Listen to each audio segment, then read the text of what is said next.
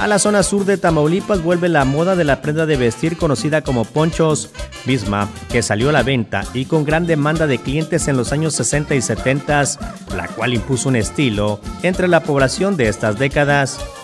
Ahora los comerciantes de esta prenda, para contrarrestar el frío, reconocen clientes mayormente en edades de entre 40 y 60 años, son los que buscan y adquieren este suéter que oscila en su costo entre los 150 pesos en diferentes colores y medidas, prácticamente agotando la mercancía en pocos días en diversos establecimientos.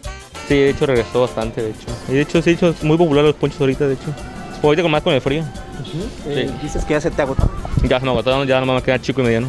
¿Es la gente que recuerda cuando lo usó de niño? Sí, de hecho aquí preguntaban mucho por ellos, de hecho, y de hecho buscaron en todos lugares y se acabaron. Estaban muy hechos, muy calientitos y muy suaves por dentro, de hecho, pues lo buscan. Y cómodos también, de hecho.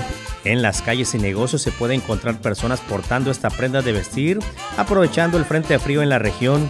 Muchos recordando cuando en menor edad utilizaron el famoso pancho e incluso adquiriendo esta vestimenta para las nuevas generaciones de integrantes de familia. Sí, están muy bien, muy buenos, muy calientitos. Ah, claro, sí, claro que sí. De hecho, a mi hijo se lo he comprado también.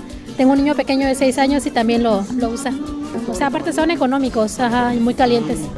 Sí, muy recomendables para todos.